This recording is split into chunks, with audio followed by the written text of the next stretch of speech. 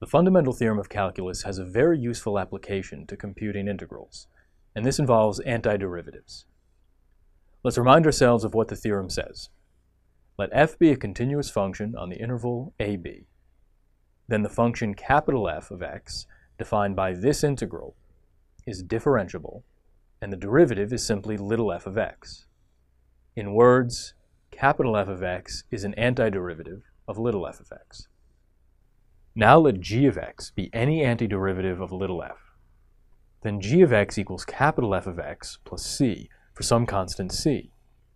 And g of b minus g of a equals capital F of b plus c minus capital F of a plus c. The c terms cancel, leaving capital F of b minus capital F of a. Now capital F of a is just the integral from a to a, which is 0. So this is just f of b minus 0, which is the integral of f from a to b.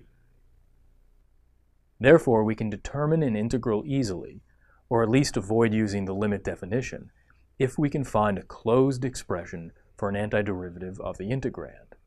By closed, I mean roughly something involving nothing but familiar functions, polynomials, trig functions, and so on.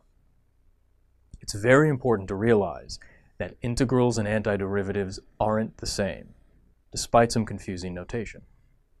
We often denote the general antiderivative, the one involving a plus c term, by this, which is like what we've already seen for integrals, only without limits of integration. If you're asked to find the integral of f of x, and there's no context telling you about an interval a, b, or anything else like that, then it's very likely that you're actually being asked to find the general antiderivative of f of x with respect to x.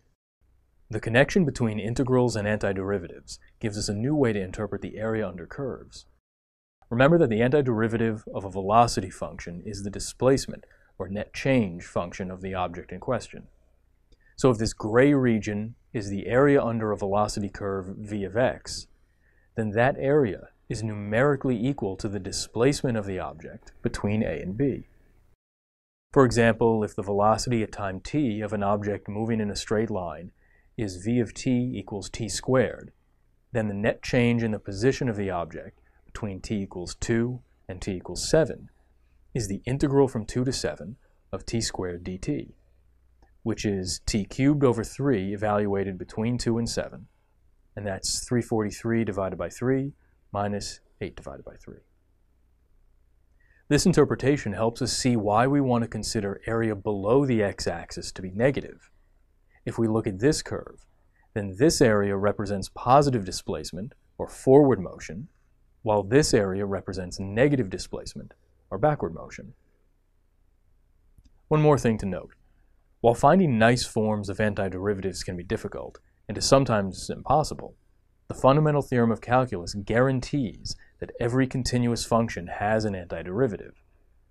For example, e to the negative x squared has an antiderivative on every interval ab, namely this integral. This isn't, of course, a nice closed formula.